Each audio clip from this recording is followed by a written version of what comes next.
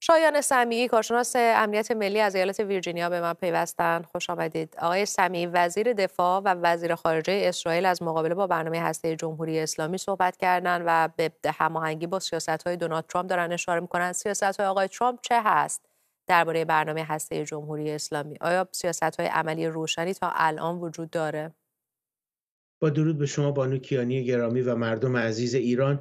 ببینید البته در حال حاضر سیاست دولت آینده آقای ترامپ هنوز مشخص نیست. اما اون چی که ما می‌تونیم از لابلای خبرها بخونیم و متوجه بشیم این هست که تیم امنیت ملی آقای ترامپ در حال شکلگیریه. همین امروز اعلام شد که آقای ترامپ سناتور فلوریدا مارکو روبیو رو برای مقام وزارت خارجه امریکا در نظر گرفته و آقای مایک والز رو برای مشاور امنیت ملی. اینها دو نفریشون افرادی هستند که بسیار حامی اسرائیل بسیار سرسختانه مقابل جمهوری اسلامی و بر این باور هستند که باید در مقابل قد علم کردنهای احتمالی جمهوری اسلامی بیش از پیش بتونن برنامه ریزی بکنن و جلوی جمهوری اسلامی در بیان.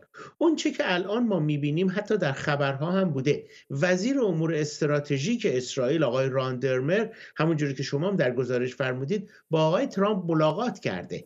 اینها نشانگر این هست که برنامه ریزی هایی حداقل در سطح اولیه داره اتفاق میفته و اسرائیل می‌خواد که رئیس جمهور منتخب امریکا در برنامه ریزی خودش داشته باشه که چه نوع حملاتی اگر حملات نظامی باشه به جمهوری اسلامی می‌خواد انجام بده. همه اینها باز بستگی به این داره که آیا جمهوری اسلامی می‌خواد رفتار نابخردانه گذشته خودش رو ادامه بده یا یک درسی گرفته و از حمایت از نیروهای نیابتی کاسته خواهد کرد که یکی از دلایلی برای آقای ترامپ خواهد بود که اسرائیل رو بیشتر مجاب بکنه از حمله نظامی پرهیز بود.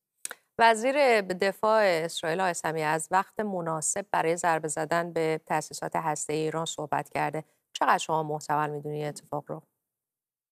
من فکر نمی کنم در حداقل در آینده نزدیک این اتفاق بیفته. به چند دلیل عمده. به خاطر اینی که یک ما می‌دونیم تاریخ به ما یاد داده که در سالهای 1981 و 2007 هم که به عراق و سوریه حمله هایی کرده بود اسرائیل اونها به خاطر این بود که تأسیسات اونها روی زمین بود. تأسیسات اتمی جمهوری اسلامی زیر زمین هست نیاز به توانمندی های نظامی بسیار بالا و برنامه ریزی بسیار بالا داره و اون برای دولت فعلی امریکا قابل انجام نیست چون علاقه دیگه واقعا به این کار ندارن انتخابات تمام شده و برای دولت نوپای آقای ترامپ هم بسیار دشوار خواهد بود که در طول تمام کارزار انتخاباتی در مقابل و در مخالفت با تشدید حملات نظامی در این ور اونور دنیا صحبت کردن و اگر بخواد یک حمله ای